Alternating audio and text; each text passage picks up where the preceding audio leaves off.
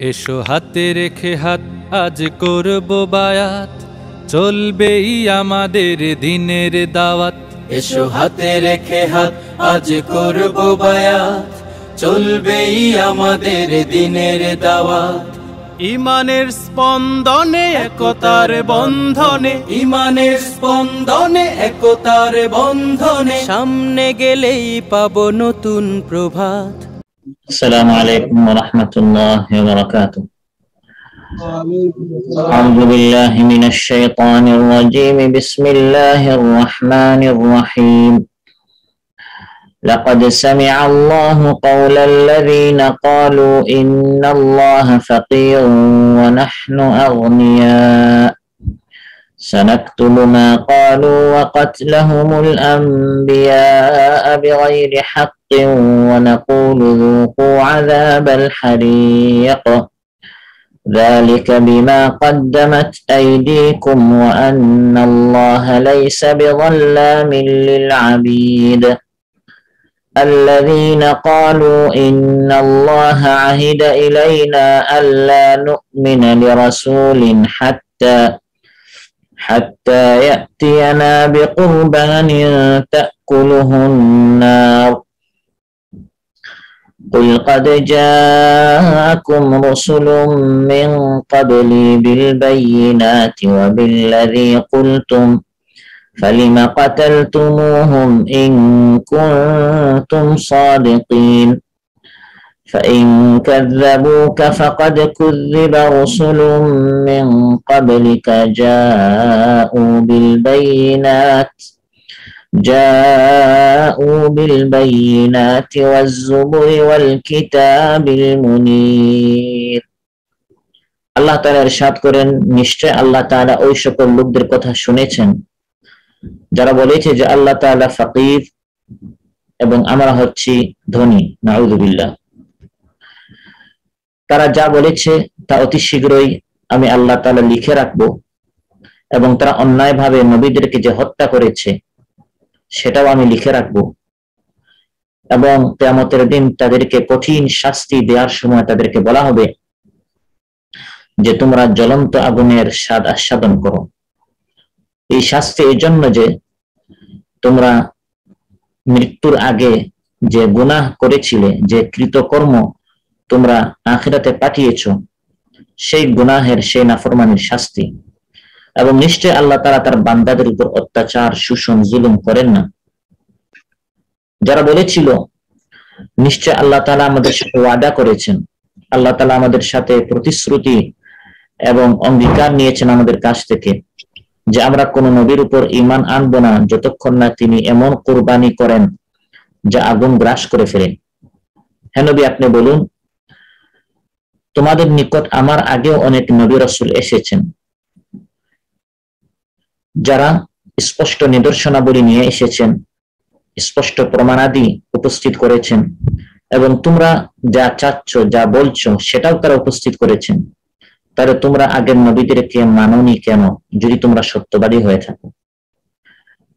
এসব কিছুর পরেও যদি এই সকল লোকেরা, হে নবী, আপনাকে মিথ্যা প্রতিপন্ন করে, তাহলে জেনে রাখুন এটা নতুন কিছু নয়, বরং আপনার পূর্বে এমন সকল নবীদেরকে মিথ্যা প্রতিপন্ন করা হয়েছে যারা স্পষ্ট নিদর্শন দলিল নিয়ে এসেছিলেন লিখিত পুস্তিকা নিয়ে এসেছিলেন এবং আলোকিত উজ্জ্বল কিতাব সাথে নিয়ে এসেছিলেন আলহামদুলিল্লাহ والصلاة والسلام على رسول الله أما بعد রাসলাফান থেকে সংযুক্ত আমার প্রাণ প্রিয় দিনী ভাইরা আমি আপনাদের সামনে সুরাত আলে ইমরানের চারটি আয়াত একশো একাশি থেকে একশো চৌরাশি। এই চারটি আয়াত তিলাবত করে এর সহজ বাংলা পেশ করলাম। এই চারটি আয়াতের আলোকে আপনাদের সামনে কিছু আলোচনা পেশ করব ইনশা আল্লাহ সম্মানিত উপস্থিতি এই চারটি আয়াতে আল্লাহ তাআলা ইয়াহুদিদের ধৃষ্টতা এবং তাদের বেয়াদবি আল্লাহ তাআলা সম্পর্কে নবীদের সম্পর্কে মিথ্যা কথা মিথ্যা দাবি এগুলো আল্লাহ তার খণ্ডন করেছেন। যেমন তারা বলতো আল্লাহ তালা হচ্ছেন ফকির গরিব আর আমরা হচ্ছি ধনী মালওয়ালা টাকা পয়সার মালিক নারুদবিল্লা এই কথা তারা কেন বলল? আজ আমাদের মধ্যে কিছু লোক এই কথাটি মুখে না বললেও কাজে ক্রমে এটা প্রমাণিত করে। ইয়াহুদিরা এই কথাটি কখন বলেছে? যখন তাদেরকে আল্লাহর পথে খরচ করতে বলা হলো। আল্লাহ তালা পথে খরচ করার সম্পর্কে এই বিষয়ে যখন বিভিন্ন আয়াত নাজিল হওয়া শুরু হলো, রাসুল সাল্লাম সাহাবিদেরকে যখন উৎসাহিত করা শুরু করলেন যে আল্লাহর পথে খরচ করো, তখন ইয়াহুদিরা উপহাস করে ঠাট্টা করে বলা শুরু করল। আল্লাহর পথে আবার খরচ কি? আল্লাহ তালার কি টাকা পয়সার এত প্রয়োজন? আল্লাহকে আমরা টাকা দিব? তার মানে আল্লাহ তার হাজত রয়েছে, প্রয়োজনীয়তা রয়েছে। তিনি হচ্ছেন অসহায়। আর আমরা হচ্ছি ধনী, আমাদের টাকা পয়সা আমরা আল্লাহকে দিব। আজ আমাদের মধ্যে কিছু ভাইদেরকে যখন আল্লাহর পথে খরচ করতে বলা হয়, অনিহা, তারপর তারপর সুস্থি, শৈথিল্যতা প্রদর্শন করে থাকেন, কৃপণতা করে থাকেন, বহুলি কঞ্জুসি করে থাকেন। আল্লাহর পথে খরচ করতে চান না। অথচ নিজের প্রয়োজনীয়তায়, স্ত্রী, সন্তান পরিবারের প্রয়োজনীয়তায় অনেক অপ্রয়োজন খরচ আমরা করে ফেলি। ভাবে মনে হয় ইহুদিদের এই চিন্তা এই সকল ভাইদের মধ্যে রয়েছে কিনা? আল্লাহ তালা বলেন, এটা শয়তান মানুষের ভিতরে এই ওয়াসওয়াসা সৃষ্টি করে আর শয়তান ইয়াইদুকুমুল ফাকর ওয়া ইয়ামুরুকুম বিল ফাহশান শয়তান সব সময় মানুষকে, তোমাদেরকে হে মানুষ সব সময় অভাব অনটনের ভয় দেখায়। আল্লাহর পথে খরচ করো না, খরচ করলে শেষ হয়ে যাবে। এবং এটা ইহুদিরা বিভিন্ন ভাবে মুসলমানদেরকে আল্লাহ তারা পথে খরচ করা থেকে বিরত রাখার জন্য এই সকল মিথ্যা কথাবার্তা তারা সমাজে প্রচার করত। আল্লাহ তারা পথে খরচ আমাকে আপনাকে করতে হবে। এটা অত্যন্ত গুরুত্বপূর্ণ, ফজিলতপূর্ণ একটা ইবাদত, আর্থিক ইবাদত, যে আমার, আপনার অর্থ, ধন সম্পদ আল্লাহর পথে আমরা খরচ করব। قل لعبادي الذين آمنوا يقيموا الصلاة وينفقوا مما رزقناهم سرا وعلانية من قبل أن يأتي يوم لا بيع فيه ولا خلال আল্লাহ তালা বলেন হে নবী আপনি আমার ইমানদার বান্দাদেরকে বলুন যারা ইমানদার তাদেরকে বলুন তারা যেন নামাজ কায়েম করে এবং গোপনে ও প্রকাশ্যে যেন তারা আমি তাদেরকে যে রিজেক্ট দিয়েছি তারা যেন তা খরচ করে। আল্লাহর পথে খরচ করে, গোপনে, প্রকাশ্যে, আল্লাযীনা ইউনফিকুনা রাতে, দিনে, গোপনে, প্রকাশ্যে, যখন সুযোগ আসে, তখন ইমানদারের আল্লাহর পথে খরচ করে। সেই দিন আসার আগে ইয়াউমুল্লা বাইউন ফিহি ওয়ালা খিলাল, যেদিন কোনো বেচা কিনা নেই, যেদিন কোনো বন্ধুত্ব কাজে আসবে না, কেউ কারও কোনো সুপারিশ করতে পারবে না সেদিন আপনি আজ আল্লাহর পথে যা খরচ করছেন, সেটা আপনার কাজে আসবে। মহানবী সাল্লাহ বিভিন্ন হাদিফে আমাকে আপনাকে উৎসাহিত করেছেন আল্লাহর পথে খরচ করার জন্য। আহাদুন বিতামরাতিন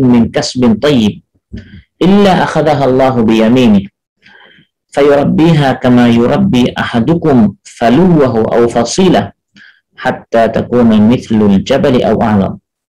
তোমাদের মধ্যে যখন কেউ একটা খেজুর হালাল উপার্জন করে, মাত্র এক খেজুর, এক টাকা, এক পয়সা, সামান্য থেকে সামান্য যখন কিছু আল্লাহর পথে খরচ করে, এই হালাল উপার্জিত জিনিস আল্লাহর পথে খরচ করার কারণে আল্লাহ তালা এত খুশি হন যে এই টাকাটাকে, এই পয়সাটাকে আল্লাহ তালা এত বেশি বৃদ্ধি করেন, এত বেশি আল্লাহ তালা এটাকে বড় করেন আল্লাহ তালা তার ডান হাত দিয়ে এটা গ্রহণ করেন। গ্রহণ করে এটাকে এত ফুলে ফলে সুশোভিত করেন বড় করেন যেরকম তোমাদের মধ্যে কেউ কোনো ছাগলের বাচ্চাকে তার কুলে রাখে দুধ খাওয়ায় কলা খাওয়ায় এটাকে বড় করে এভাবে আল্লাহ সুবহান এই এক পয়সাকে এক টাকাকে আল্লাহ তালা বড় করতে করতে এক পাহাড় সমান বরাবর সবাব দিয়ে থাকেন।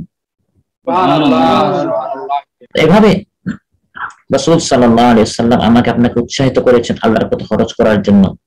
আল্লাহ তালা উৎসাহিত করেছেন এবং আল্লাহর পথে খরচটাকে আল্লাহ তালা ঋণ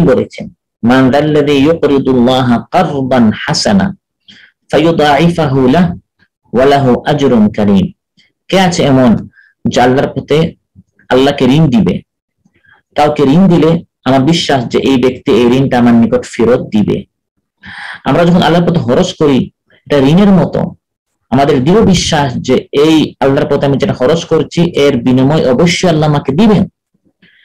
ঋণ দিলে একের বদলে আমরা এক পাই, দশের বদলে দশ পাই, বেশি হলে সেটা সুদ হয়। কিন্তু আল্লাহ তাআলা আমাদেরকে দশের বদলে দশ দিবেন না। কমপক্ষে একে সাতশো দিবেন সওয়াব। আর যাকে ইচ্ছা আল্লাহ তালা আরও বাড়িয়ে দিবেন আল্লাহু এই ধরনের বিভিন্ন আয়াতে আল্লাহ তাআলা আমাদেরকে উৎসাহিত করেছেন তার পথে বেশি বেশি করে খরচ করার জন্য। ইহুদিরা নিজেরাও খরচ করে নাই, আর ইমানদারেরা যখন এগিয়ে আসলেন খরচ করার জন্য, এক একজনকে তারা এক এক ভাবে পথভ্রষ্ট করার জন্য পথচ্যুত করার জন্য তারা কথাবার্তা বলা শুরু করল। এক পর্যায়ে তারা বলা শুরু করল যে আল্লাহ তালা হচ্ছেন ফকির, আমরা হচ্ছে ধনী। নয়, আল্লাহর পথে আমরা কেন খরচ করব?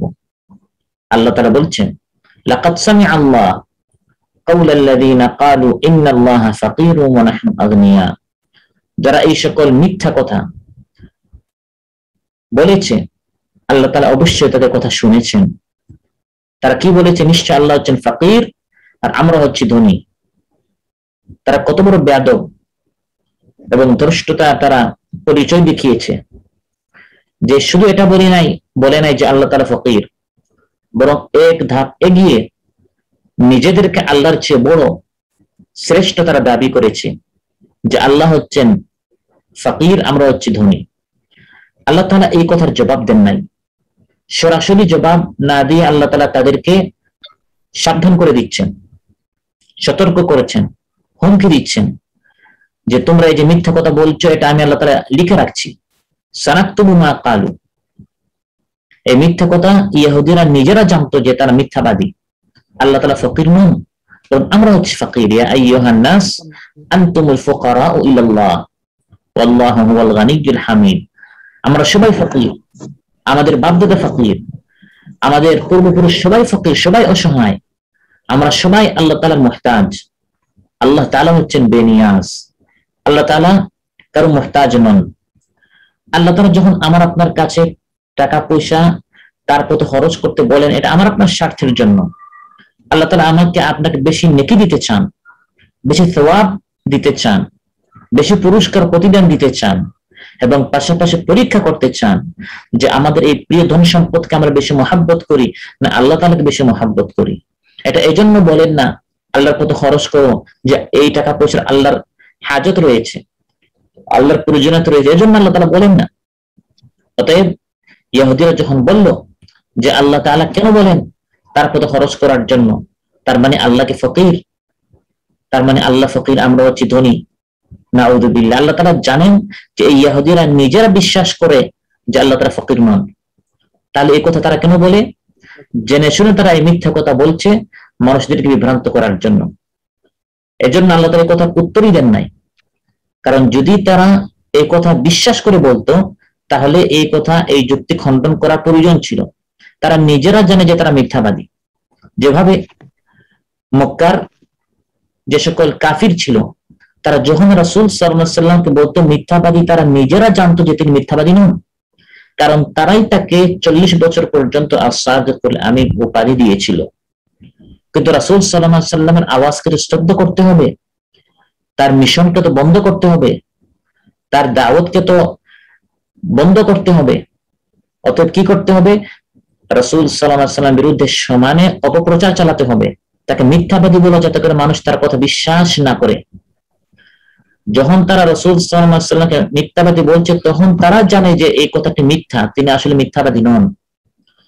যখন তারা বলছে তিনি জাদুকর সাহেব, তারা নিজেরা জানে যে তিনি আসলে জাদুকর নন, কারণ তারা তাকে আপাদমস্তক মাথা থেকে পা পর্যন্ত চল্লিশ বছর দেখেছে। এবং জানে তিনি সম্ভ্রান্ত ফ্যামিলির তিনি বড় ফ্যামিলির উঁচু পরিবারের বংশের লোক। তিনি সম্মানিত ব্যক্তি, তিনি কোনো সময় মিথ্যা কথা বলতে পারেন এগুলো সব তারা জানেন জেনে শুনে তারা সকল মিথ্যা কথাবার্তা বলতো। ইয়াহুদিরা যখন বলল যে, আল্লাহ তালা ফাকির, আমরা হচ্ছি ধনী, আল্লাহ তালা এর প্রতি উত্তরে বলছেন, সানাক্তুলু মা কালু। ইসলামের বিরুদ্ধে, আল্লাহ তালার বিরুদ্ধে, কোরআনের বিরুদ্ধে রাসুল সাল্লামের বিরুদ্ধে তারা যে সকল মিথ্যা কথা বলছে, উপহাস করেছে, ঠাট্টা মুস্কারি করছে, যা বলছে, যা লিখছে, যা প্রচার করছে, এগুলো সব আমি আল্লাহ তালা লিখে রাখছি। ফিরিস্তাদের মাধ্যমে এগুলো সব লিখা হচ্ছে, সব নোট করা হচ্ছে। বালা ও আল্লাহ তাআলা বলেন, আমার রসুল অর্থাৎ ফিরিস্তারা তৎপর আছেন, সদা তারা উপস্থিত রয়েছেন। কে কোন সময় ইসলামের বিরুদ্ধে কি বলছে, কি লিখছে, সবকিছু পই পই করে হিসাব দিতে হবে। ওকাতলাহমুল আম্বিয়া বেগাইরি হাক। অন্যায় ভাবে তারা যে নবীদেরকে হত্যা করেছে, এটাও আল্লাহ তালা হিসাব রেখেছেন। এটা বৃথা যাবে না। এটা এমনি এমনি চলে যাবে না, বরং এটার অবশ্যই বিচার হবে। আর যে সকল মিথ্যা বিচার দুনিয়াতে হয়েছে, এর অবশ্যই পুনরায় আপিল হবে আল্লাহর আদালতে। যাদের উপর বিচারের নামে অবিচার হয়েছে, অবশ্যই তাদের হক, ন্যায় ভিত্তিক, ইনসাফ ভিত্তিক বিচার আল্লাহ তালার নিকট তাদের রয়েছে। অতএব যারা নবীদেরকে হত্যা করেছে এবং বর্তমানে এবং ভবিষ্যতে যারা নবীদের উত্তরসূরিদেরকে হত্যা করছে, নবীদের আওয়াজে, আওয়াজ নবীদের ধ্বনিতে প্রতিধ্বনিত করার কারণে নবীদের বাণী মানুষের নিকট পৌঁছাবার অপরাধে নবীদের মিশন নিয়ে দাঁড়াবার কারণে যারা নবীদের উত্তরসূরিদেরকে ফাঁসির কাষ্টে ঝুলিয়েছে, হত্যা করেছে এবং তাদের আওয়াজকে দমন করার জন্য চেষ্টা করেছে, আল্লাহ তালা বলেন, এগুলি সব আমি লিখে রাখছি।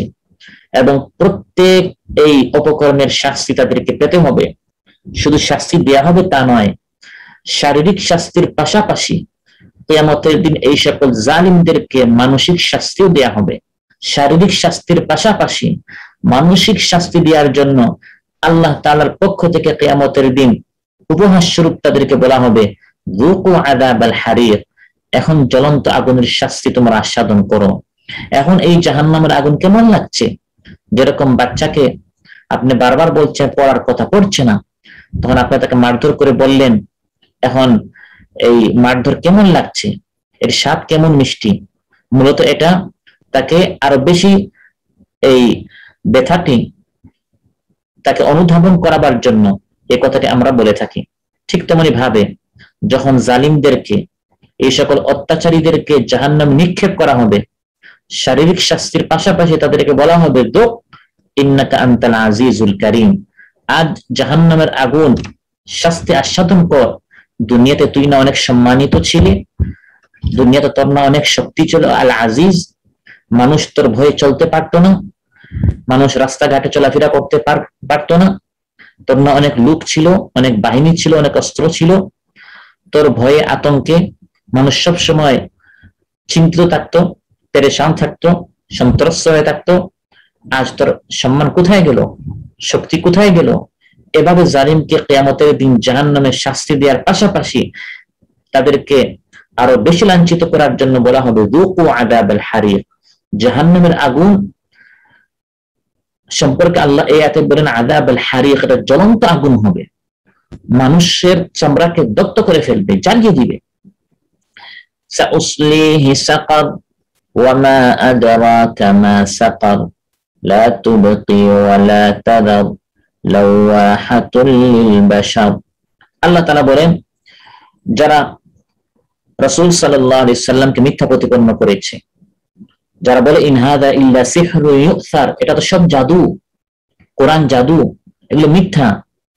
এভাবে যারা দিনের দাওয়াত দিচ্ছে, ইসলামের দিকে দাওয়াত দিচ্ছে, কোরআনের তাফসির করছে, কোরআনকে ব্যাখ্যা করে করে মানুষের নিকট পৌঁছাচ্ছে, তাদেরকে যারা গালি দেয়, তাদেরকে নিয়ে যারা উপহাস করে, তাদের বিরুদ্ধে যারা অপপ্রচার প্রবাগান্ডা চালায় আল্লাহ তালা বলেন, এই সকল জালিমদেরকে আমি আল্লাহ তালা স্পেশাল তাদের জন্য একটি জাহান্নাম তৈরি করে রেখেছি, যার নাম হচ্ছে সাকার। আল্লাহ বলেন, ওয়ামা আদরা কামা সাকার? তুমি কি জানো সাকার এই জাহান্নামের শাস্তি কেমন? এটা হচ্ছে এমন জাহান্নাম লা তাদা। মানুষকে জীবিতও রাখে না, মানুষকে মরতেও দেয় না। লা ইয়ামুতু ফিহা ওয়া লা ইয়াহইয়া। মরতেও পারে না, বাঁচতেও পারে না। লাওয়াহাতুল লিল বাশার বাশার বলে চামড়াকে মানুষের চামড়াকে দত্ত করে ফেলবে জাগিয়ে দিবে পুড়িয়ে দিবে নাউযুবিল্লাহ কাল্লা লায়ুমবাদান্ন ফিল হুতামাহ وما أدراك ما الحطمة نار الله الموقدة التي تطلع على الأفئدة إنها عليهم مؤصدة في عمد ممددة যারা টাকা পয়সা জমা করবে আল্লাদি জামা আমালান ওয়াদ্দাদা শুধু টাকা পয়সা জমা করে আর গুনতে থাকে। আর মনে করে এই টাকা পয়সা সারা জীবন তার কাছে থাকবে, ইয়াহসাবু আন্না মালাহু আখলাদা। আল্লাহর পথে হরস করে না। আর যারা হরস করে তাদেরকে বাধা দেয়, তাদেরকে উপহাস করে। সে আল্লাহর পথে হরস না করে শয়তানের পথে হরস করে। দিনের আলোকে নিভিয়ে দেওয়ার জন্য খরচ করে। সিনেমা বানাবার জন্য খরচ করে। গান বাজনার আয়োজনের জন্য খরচ করে। জুয়া, যেখানে আছে সেখানে খরচ করে। কীভাবে ইসলামী শিক্ষা বন্ধ করা যায়? ইসলামী সংস্কৃতির বিরোধিতা করা যায়? ইত্যাদি, এই সকল খাতে সে সমানে ব্যয় করে। আর ইসলামের পথে খরচ করার জন্য যখন তাকে বলা হয়, তখন সে হাত গুটিয়ে ফেলে। আর টাকা পয়সা গুনতে থাকে কত হয়েছে? দিনের ক্ষেত্রে সে কৃপণ, একবার বখিল আল্লাহর পথে খরচ করতে চায় না। এই সকল না লায়ক এবং এই সকল যারা সাফিহ রয়েছে, নির্বুধ রয়েছে, আল্লাহর পথে খরচ করতে চায় না। তাদের সম্পর্কে আল্লাহ তালা বলেন, তাদেরকে হোতামাহ নামক জাহান নামে নিক্ষেপ করা হবে। তুমি কি জানো, ওয়ামা আদরা কামাল হোতামা হোতামা এই জাহান্নামটি কেমন? নারুল্লাহিল মুকাদা। এই জাহান্নামের আগুন হচ্ছে প্রজ্বলিত। সবসময় উত্তপ্ত, গরম আগুন হয়ে থাকবে। আল্লাতি তাত্তালিউ আলাল আফইদা। এমন প্রজ্বলিত আগুন যখন তাদেরকে এই আগুনে ফেলা হবে জলে পুড়ে, এর প্রভাব তাদের অন্তর পর্যন্ত পৌঁছে যাবে। সামান্য আগুন যখন আমাদের শরীরে লাগে, চুলার আগুন, মোমবাতির আগুন, তখন আমরা বলি, এত গরম লাগছে, একবার আমার কলিজায় লাগছে। অথচ আসলে আমাদের কলিজা লাগে না। সামান্য হলে শুধু আপনার চামড়াটি, আপনি কষ্ট পান চামড়ায়। আর একটু বেশি হলে হাড্ডিতে গুসতে এভাবে যার যত বেশি কষ্ট হয়, আপনার এই ব্যথার মানে প্রভাবটি তত বেশি হয়। যদি খুব বেশি হয়, তখন আমরা বলি যে ব্যথাটি একবার আমার কলিজায় লেগেছে। কেয়ামতের দিন জাহান্নামীদেরকে জাহান্নামে যখন নিক্ষেপ করা হবে, আল্লাহ তালা বলেন আল্লাহ আলাল আফিদা যে এভাবে তাদেরকে জাহান্নামে জ্বালানো হবে, পোড়ানো হবে? যারা আল্লাহর পথে খরচ করে নাই, যারা আল্লাহর পথে খরচ করতে মানুষদেরকে বাধা দিত, শয়তানের পথে খরচ করত। আর যারা আল্লাহর পথে খরচ করে তাদেরকে বাধা দেয়, তাদেরকে নিয়ে উপহাস টাক্কা বিদ্রুপ করে। আল্লাহ তালাকে গালি দেয়, ফকির বলে, গরিব বলে নাউদ বিল্লাহ রসুল সাল্লামকে নিয়ে উপহাস করে, দিনকে নিয়ে উপহাস করে। এই ধরনের যারা আছে, তাদেরকে এমন জাহান্নাম নিক্ষেপ করা হবে আল্লাহ যে এই গরম এমন হবে, এই জাহান্নামের উত্তপ্ততা এমন হবে, যখন শাস্তি দেয়া হবে, এর শাস্তি তাদের অন্তর পর্যন্ত পৌঁছে যাবে। এবং উপর দিয়ে তাদেরকে ঢেকে ফেলা হবে। জাহান্নামের ভিতরে নিক্ষেপ করে, নিচ দিয়ে আগুন প্রজ্বলিত হবে, আর উপর দিয়ে ঢাকনা দিয়ে বন্ধ করে দেওয়া হবে। একেবারে তাদেরকে সিদ্ধ করে ফেলা হবে না ঔদুবিল্লা আর জ্বলতে জ্বলতে যখন তাদের চামড়া একবারে কালো হয়ে যাবে, একবারে চামড়া পুড়ে যাবে, শাস্তি শেষ? না। আবার চামড়া লাগানো হবে, আবার শাস্তি। আবার চামড়া লাগানো হবে, আবার শাস্তি না ঔদুবিল্লা إن الذين كفروا بآياتنا سوف نصليهم نارا كلما نضجت جلودهم بدلناهم جلودا غيرها ليذوقوا العذاب إن الله كان عزيزا حكيما আল্লাহ তালা বলেন যারা আমার আয়াতগুলোকে অস্বীকার করেছে দিনকে সহ্য করতে পারে না ইসলামকে সহ্য করতে পারে না এই আয়াত মূলত কাফিরদের সম্পর্কে নাজিল হয়েছে। কিন্তু আজ নামদারি অনেক মুসলমান রয়েছে। ইসলামের নাম শুনলেই, মসজিদের নাম শুনলে কোরআনের নাম শুনলে তাফসিরের নাম শুনলে তাদের শরীরে জ্বালা যন্ত্রণা শুরু হয়ে যায়। আল্লাহ তারা বলে তাদের শাস্তি কি? ও চিরেই আমি তাদেরকে আগুনে নিক্ষেপ করব। ওই আগুনে তাদের শরীর যখন জলে পুড়ে, দগ্ধ হয়ে যাবে সিদ্ধ হয়ে যাবে। কুল্লামা নাদিয়াত জুলুদুহুম বাদদালনাহুম জুলুদান গায়রাহা। তখন আমি তাদেরকে আরেক চামড়া দিব, যাতে করে শাস্তি তারা আস্বাদন করতে পারে। শাস্তি কত প্রকার এবং কি কি তারা যেন টের পায়। কাল্লা ইন্নাহা লাওয়া নাযাআতাল লিশাওয়া তাদউ মান আদবারা ওয়া তাওয়াল্লা, ওয়া ফাআওয়া। আল্লাহ তালা বলেন, জাহান্নাম হচ্ছে কি? লাভা। জাহান্নাম হচ্ছে লেলিহান অগ্নি। এমন শাস্তি এই লেলিহান অগ্নি দ্বারা দেয়া হবে যে তাদের চামড়া খসিয়ে পড়বে। চামড়া খসে খসে পড়ে যাবে। জাহান্নাম ডাকতে থাকবে তেয়ামতের দিন শাস্তি দেওয়ার জন্য। ওই সকল লোকদেরকে তাদের মান আকবর আকবার যারা কোরআনের আলোচনা শুনে মুখ ফিরিয়ে চলে যায় পিঠ দেখিয়ে চলে যায়। গ্রহণ করতে চায় না। ঠাট্টা মুস্কারি করে। এত অল্প বয়সে দিনের কথা আবার শোনার প্রয়োজন কি? এত অল্প বয়সে এই যৌবনকালে আমাদেরকে আরেকটু দুনিয়া উপভোগ করতে হবে। এখন এত ধার্মিক হওয়ার দরকার কি? নিজেও দিন মানতে চায় না, আর যারা মানতে চায় তাদেরকেও বাধা দেয়। নিজেও জান মাল দিতে চায় না, সময়, শ্রম, আল্লাহর প্রতি দিতে চায় না যারা দিতে চায়, তাদের তাদের পথে অন্তরায় হয়ে দাঁড়ায়। আদবারা ওয়াতাওয়াল্লা পিঠ দিকে চলে যায়। ওয়াজামা ফাআউআ এবং টাকা পয়সা জমা করতে থাকে। ওয়াজামা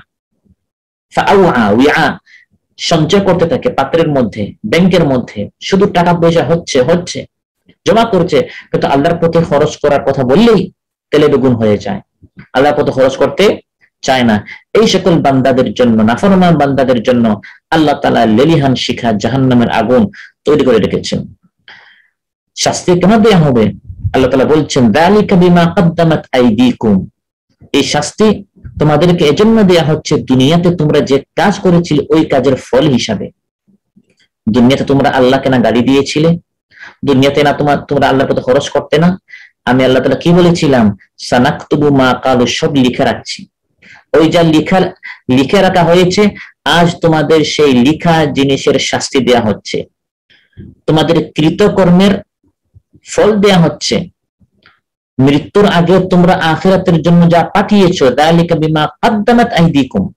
তোমরা তোমাদের হাত দ্বারা, অঙ্গ প্রত্যঙ্গ দ্বারা মৃত্যুর আগে যা পাঠিয়েছ, আজ সেই কাজের শাস্তি দেয়া হচ্ছে। অতএব কাজের সময় হচ্ছে মৃত্যুর আগে, আর মৃত্যুর পরে হচ্ছে হিসাব। মৃত্যুর পরে আর কাজের কোনো সুযোগ নেই। এই মৃত্যুর আগে ভালো করলে ভালো ফল, আর মন্দ করলে এর ফলটাও সেরকম হবে, যেমন কর্ম তেমন ফল। আল্লাহ তালা যখন শাস্তি দেন, যত বান্দাকে আল্লাহ তালা শাস্তি দিবেন, তার উপর আল্লাহ তালা জুলুম করেন না। ও আল্লাহ আবি। এটা কৃতকর্মের ফল। গুনাহ করেছে বিদায় শাস্তি। এমন কোন এক বান্দার সাথে এমন হবে না যে সে গুনাহ করে নাই এবং আল্লাহ তালা বলে শাস্তি দিচ্ছেন। বা প্রতিশোধমূলক আল্লাহ তালা জুলুম করে শাস্তি দিচ্ছেন, এমন হবে না। যে যতটুকু গুনাহ করেছে, তাকে ততটুকু শাস্তি দেওয়া হবে। কোন বান্দার উপর আল্লাহ তালা আক্রোশ, এর কারণে বেশি শাস্তি দিবেন না। দালিকা বিমা কদ্দামাত আইদিকুম, তোমরা দুনিয়াতে ইসলামের বিরোধিতা করেছ, ইসলামের আলোকে নিভিয়ে দেওয়ার জন্য চেষ্টা করেছ এই জন্য আজকে এই শাস্তি। আল্লাহ তোমাদের উপর জুলুম করছেন না আন্নাল্লাহ লাইসা বিযাল্লামিল আবিদ কারণ দুলুম হাদিসে কুদসিতে আল্লাহ তাআলা বলেন, ইয়া ইবাদি, ইন্নী হারামতু যুলমা আলা নাফসি ওয়া জাআলতুহু বাইনাকুম মুহাররামান ফালা তাযালামু। হে আমার বান্দারা, আমি আল্লাহ নিজের উপর জুলুমকে হারাম করেছি এবং তোমাদের মধ্যেও হারাম করেছি। অতএব তোমরা পরস্পর জুলুম করো না। আল্লাহ তালা কোনো অবস্থায় কোনো বান্দার উপর জুলুম করেন না। কোন অবস্থায় আল্লাহ তালা অন্যায়ভাবে কাউকে শাস্তি দিবেন না। যতক্ষণ পর্যন্ত এটা প্রমাণিত না হবে যে এই বান্দা শাস্তি পাওয়ার যোগ্য, সে শাস্তি তাকে পেতে হবে, যতক্ষণ এটা প্রমাণিত না হবে, আল্লাহ কাউকে শাস্তি দিবেন না। আর আল্লাহ তালা যদি বিশ্ববাসী, দুনিয়ার সব মানুষকে শাস্তি দেন, সবাইকে যদি আল্লাহ তালা জাহান্নামে পাঠিয়ে দেন, আল্লাহ কার উপর জুলুম এটা হবে না। কারণ রাসূল সাল্লাল্লাহু আলাইহি সাল্লাম হাদিসে ইরশাদ করেন, লাউ আযাবা সামাওয়াতিহি ওয়া আরদিহি লা'আযাবাহুম ওয়া হুয়া গায়রু যালিমিন লাহুম। ইবনে মাজাহ এবং আবু দাউদে আসছে যে পুরা আসমানবাসী ও জমিনবাসীকে যদি আল্লাহ তাআলা শাস্তি দেন, সবাইকে যদি আল্লাহ তাআলা জাহান্নামে পাঠিয়ে দেন, তাহলে এই সবাইকে শাস্তি দেওয়াটা আল্লাহর জন্য জুলুম হবে না। কেন? আমি, আপনি, আমরা প্রত্যেকেই নিজের একটু হিসাব মিলাই। আজকে শুধু, আজকে চব্বিশ ঘন্টায়। আমরা কতটুকু আল্লাহর কথা মেনেছি আর কতটুকু আমরা আল্লাহর কথা অমান্য করেছি। আল্লাহ তালার যত নিয়ামত আমাদের উপর রয়েছে, সেই নিয়ামতের দাবি অনুযায়ী কি আমরা কিছুটা হলে ইবাদত করতে পেরেছি না পারি নাই? পুরোদিন আমরা আল্লাহর হুকুম মানি নাই। যে টুকটাক কিছু ইবাদত করেছি, দুই রাকাত নামাজ পড়েছি, ওই নামাজটাও ঠিক মতো হয় নাই। নামাজে দাঁড়িয়েছি তো দুনিয়ার হিসাব শুরু। ঠিক মতো আমরা বধু করি নাই। ঠিক মতো আমাদের তিলাওয়াত হয় নাই নামাজের মধ্যে। আমরা পুরোদিন আল্লাহর কতটুকু কালাম আমরা তিলাওয়াত করেছি। ইত্যাদি আমরা যদি হিসাব মিলাই, আল্লাহর অসংখ্য নিয়ামত, যেখানে পৃথিবীতে অসংখ্য মানুষ মারা যাচ্ছে, আল্লাহ আমাকে আপনাকে জীবিত রেখেছেন। হাসপাতালের বেডে মানুষ কাতরাচ্ছে, আল্লাহ তালা আমাকে আপনাকে সুস্থ রেখেছেন। হাত নাই, পা নাই। তারপর বিভিন্ন বিপদে মানুষ আপতিত, আল্লাহ তালা আমাকে আপনাকে নিয়ামত দ্বারা ধন্য করেছেন। এই সকল নিয়ামতের তুলনায় আমি আপনি কতটুকু আল্লাহর ইবাদত করছি? এইভাবে হিসাব করলে পৃথিবীর সবাই শাস্তি পাওয়ার যোগ্য। এই জন্য রসুল সালাম ইরশাদ করেন, আল্লাহ তালা সবাইকে শাস্তি দিলেও এটা আল্লাহর জন্য জুলুম হবে না। তারপরেও আল্লাহ তালা সবাইকে শাস্তি দিবেন না। কারণ আল্লাহ তালা শাস্তি দেওয়ার জন্য সৃষ্টি করেন নাই। আল্লাহ হচ্ছেন আর রহমানুর রাহিম। তিনি হচ্ছেন পরম দয়ালু, তিনি হচ্ছেন অতি দয়ালু, মেহেরবান। তিনি শাস্তি দিতে চান না। বান্দা যখন সীমা অতিক্রম করে ফেলে, তখন আল্লাহ তালা শাস্তি দেন। ইয়াহুদিরা একদিকে আল্লাহ তাআলাকে নিয়ে একটি মিথ্যা কথা বলল, সেটা হচ্ছে কি না উজিবিল্লা আল্লাহ হচ্ছেন ফকির, অসহায়, আমাদের কাছে তিনি টাকা চান। তৌহিদকে তারা অস্বীকার করল। অনুরূপ ভাবে তারা রিসালাতকে অস্বীকার করল। রাসূল সাল্লাল্লাহু আলাইহি সাল্লামকে অস্বীকার করল। তারা জানে যে এই নবী হচ্ছেন সেই নবী, যেই নবীর কথা আমাদের কিতাবে আছে। শেষ জামান একজন নবী আসবেন, তোমরা তাকে মানবে। তিনি হচ্ছেন সেই নবী। কিন্তু যেহেতু তিনি ইহুদি বংশে আসে নাই, এজন্য হিংসার কারণে তারা মহানবী সাল্লামকে মানতে চাচ্ছিল না। এখন কীভাবে মহানবী সাল্লামকে মিথ্যা বলা যায়? এক একবার তারা এক এক অভিযোগ এক এক বাহানা তারা বের করা শুরু করল। আমাদের আগে, আগের জাতিদের মধ্যে এই বিধান ছিল যে যখন তারা কোনো কোরবানি করত, কোরবানির গোস্ত খাওয়া তাদের জন্য জায়েজ ছিল না। যুদ্ধের পর যখন কোনো গনিমত লাভ করত, গনিমত গ্রহণ করা তাদের জন্য জায়েজ ছিল না। এই গনিমত বলেন বা কোরবানি বলেন, এগুলো কোরবানি জবাই করে তারা মাঠে, ময়দানে বা টিল্লায়, পাহাড়ে তারা রেখে দিত, আসমান থেকে আগুন এসে ওটাকে গ্রাস করত। যদি আসমান থেকে আগুন এসে ওটাকে গ্রাস করত, বোঝা যেত কোরবানিটা কবুল হয়েছে। আর যদি আসমান থেকে অগ্নি এসে এটাকে গ্রাস করতো না, বোঝা যেত যে এই কোরবানিটা কবুল হয় নাই। এখন বিভিন্ন নবীরা যখন আসছে, আগের নবীরা, ইয়াহুদিদের নিকট ইহুদিরা বলতো, আপনি যে আল্লাহর নবীটার প্রমাণ কি? এক কাজ করুন, আপনার কোরবানি করুন। যদি আসমান থেকে অগ্নি এসে আপনার কোরবানি খেয়ে ফেলে গ্রাস করে, তাহলে আমরা বুঝব আপনি আল্লাহর পক্ষ থেকে প্রেরিত নবী। আর যদি অগ্নি ওই আপনার কোরবানি গ্রাস করতে না পারে, তাহলে আমরা বুঝব আপনি আসলে নবী নন, আপনি আপনি নবুয়তের শুধু দাবি করেছেন, মিথ্যা দাবি করছেন। এভাবে বিভিন্ন নবীরা তারা মজিজা দেখিয়েছেন। মজিজা দেখানোর পর তারা যেটা চেয়েছে, কোরবানি তারা করেছেন নবীরা, আসমান থেকে অগ্নি এসে তাদের কোরবানি খেয়েছে। প্রমাণিত হয়েছে তারা আল্লাহ নবী, তারপরেও তারা আগের নবীদেরকে মানে নাই, ইয়াহুদিরা। আমাদের শরীয়তে ইসলামে আল্লাহ তাআলা কোরবানিকে জায়েজ করে দিয়েছেন। কোরবানি করে আমরা কোরবানি গোশত খাব। যুদ্ধের পর আমরা গনিমতের মাল গ্রহণ করতে পারব। এই বিধানটি ইহুদিরা জানতো যে ইসলামে এসে গনিমতকে জায়েজ করে দেওয়া হয়েছে। কোরবানির গোশত খাওয়া জায়েজ করা হয়েছে। বিদায় আর আসমান থেকে কোনো অগ্নি এসে কোরবানি বা গনিমত গ্রাস করার কোনো প্রয়োজন নাই।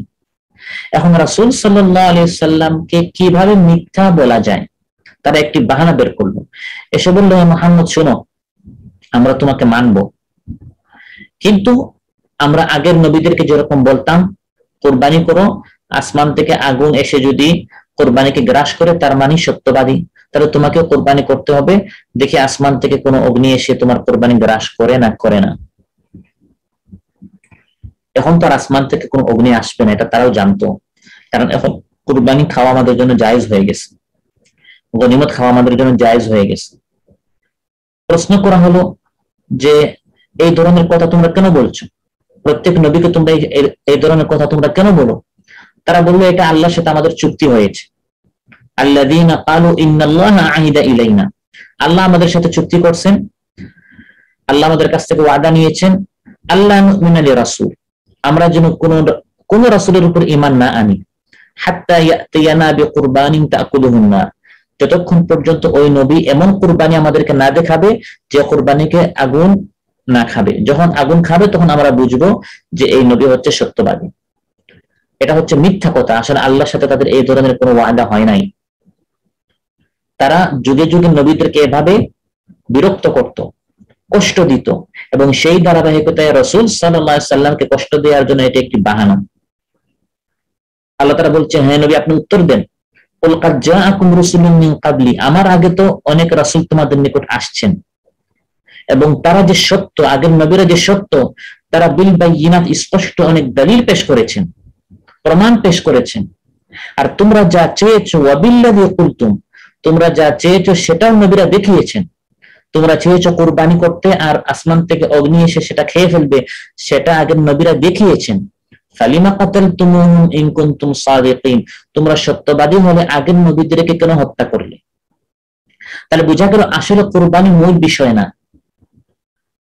এগুলো হচ্ছে এক একটা বাহানা নবীদেরকে মিথ্যা বলার।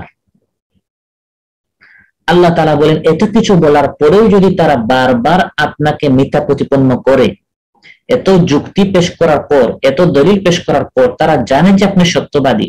এত কিছুর পরেও যদি তারা, হে আপনাকে বারবার মিথ্যা বলে তাকে আপনি মন খারাপ করবেন না।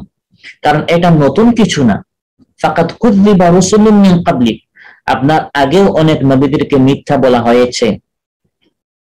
ওই সকল নবীরা এমনি এমনি জাতির সামনে আসেন নাই। সম্বলহীন কোন দলিল প্রমাণ ছাড়া না। যা ও বিল না তারা স্পষ্ট দলিল নিয়ে এসেছেন। যখন তারা জাতির সামনে ভাষণ দিয়েছেন, জাতিকে যখন দাওয়াত দিয়েছেন, কোথায় কোথায় তারা দলিল পেশ করেছেন, মুজিজা তারা পেশ করেছেন, এবং মুজিজা দ্বারা দলিল দ্বারা এটা প্রমাণিত হয়েছে যে নবীরা সত্য। শুধু স্পষ্ট দলিল নয়, বরং ওয়াজুবুর তারা লিখিত কিতাবও নিয়ে এসেছেন। ওয়াল কিতাবুল মুনির, আল্লাহর পক্ষ থেকে আলোকিত মুনির আলো দানকারী তারা কিতাব পেশ করেছেন। তাওরাত নিয়ে এসেছেন ইঞ্জিল নিয়ে এসেছেন, জাবুর নিয়ে এসেছেন। এত কিছুর পরেও তাদের উন্নতিরা তাদেরকে মানে নাই। অতএব হে নবী, আপনি যত প্রমাণ পেশ করেন না কেন, যারা না মানার তারা মানবে না। এখান থেকে আমার আপনার জন্য যেটা শিক্ষা, সেটা হচ্ছে আমাদের মধ্যে কিছু লোক এমন থাকবে। আপনি যত বুঝান, যত তাকে আপনি মাহফিলে আনেন, যত আপনি তাকে তাফসির পড়ান, হাদিস পড়ান, ইসলামী বই পড়ান, যত আপনি তাকে বোঝাবার চেষ্টা করেন, কোরআনের আয়াতের রিফারেন্স দিয়ে, হাদিস নাম্বার দিয়ে, তাকে সত্য, সঠিক পথের দিশা আপনি তাকে দেয়াবার যত চেষ্টা করেন না কেন, কিছু মানুষ এমন থাকবে, তারা একের পর এক শুধু মিথ্যা যুক্তি এবং মিথ্যা কথা বলে বলে চেষ্টা করবে সত্যের আলোকে বন্ধ করে দেয়া। আর যখন পারবে না তখন তারা গালির আশ্রয় নিবে। যেরকম রাসুল সাল্লাহ সাল্লামকে, যার চরিত্রের মধ্যে কোনো খুঁত নেই, কোনো দোষ নেই আপনি হচ্ছেন সর্বোত্তম চরিত্রের অধিকারী। সে রাসুল সাল্লামকে বিভিন্ন মিথ্যা গালি দেওয়া হয়েছে। তাকে কাদ্দাব বলা হয়েছে, মিথ্যাবাদী বলা হয়েছে। সাহেব জাতকর বলা হয়েছে। শাহের পাগল বলা হয়েছে।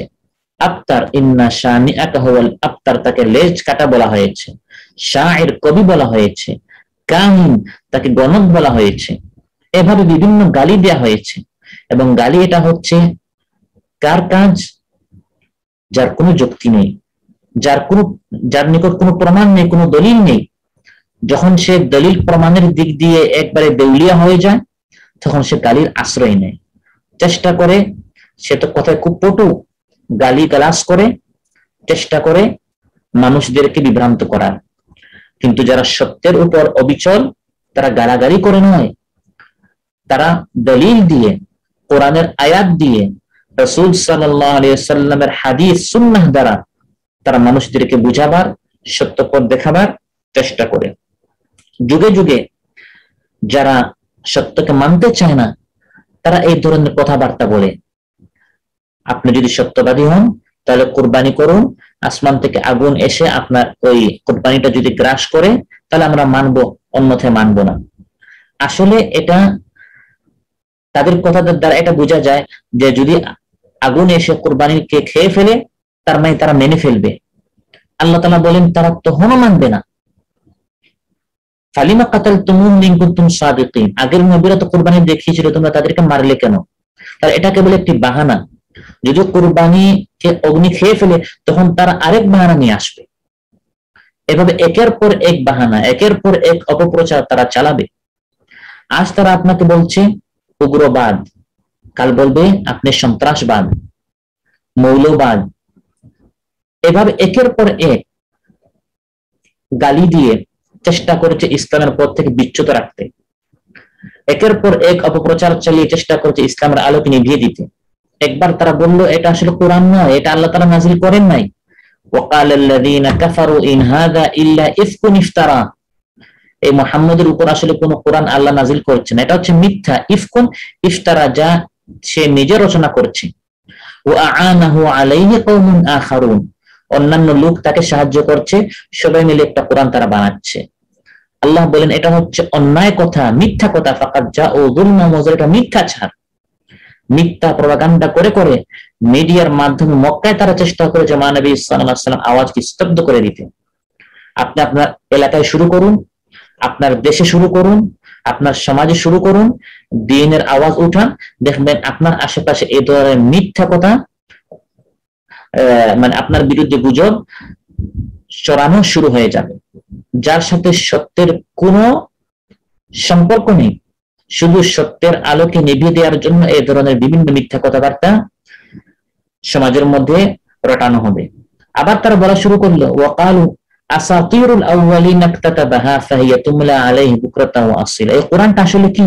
এগুলো লোকদের, পূর্বপুরুষদের কাহিনী, ঘটনাগুলো মোহাম্মদ অন্য কারও মাধ্যমে লিখিয়ে নিয়েছে।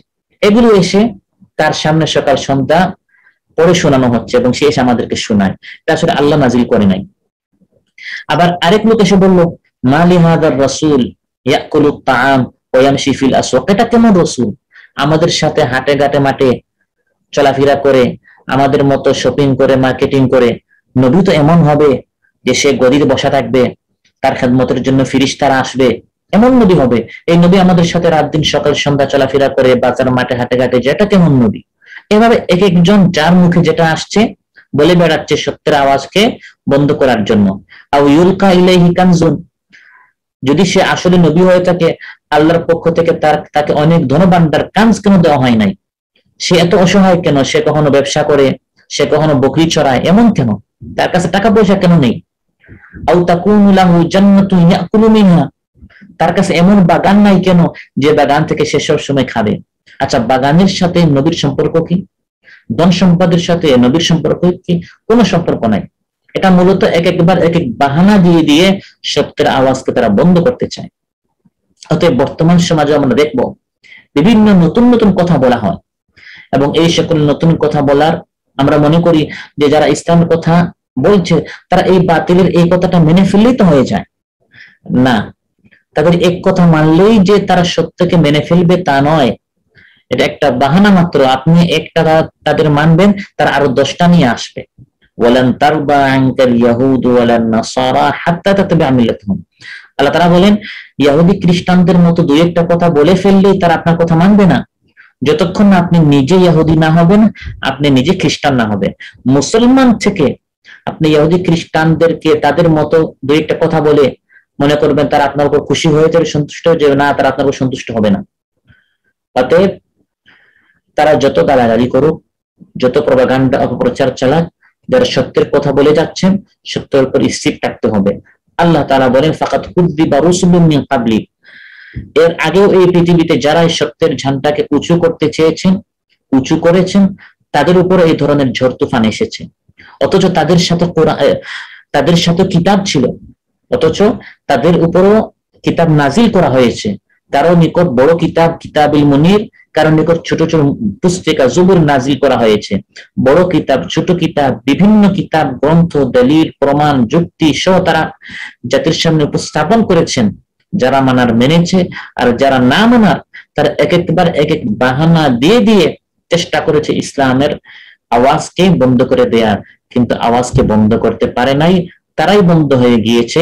তারাই নিশ্চিন্ন হয়ে গেছে কিন্তু কিন্তু ইসলামের দাওয়াত চলছে চলবে কেয়ামত পর্যন্ত ইনশাআল্লাহ। আল্লাহ তালা আমাকে আপনাকে সবাইকে দিন জানার বুঝার এবং সে অনুযায়ী আমল করার তৌফিক দান করুন। আসসালামু আলাইকুম রহমতুল্লাহ এসো হাতে রেখে হাত আজ করব বায়াত। চলবেই আমাদের দিনের দাওয়াত। এসো হাতে রেখে হাত আজ করব বায়াত। চলবেই আমাদের দিনের দাওয়াত। ইমানের স্পন্দনে একতার বন্ধনে। ইমানের স্পন্দনে একতার বন্ধনে। সামনে গেলেই পাব নতুন প্রভাত।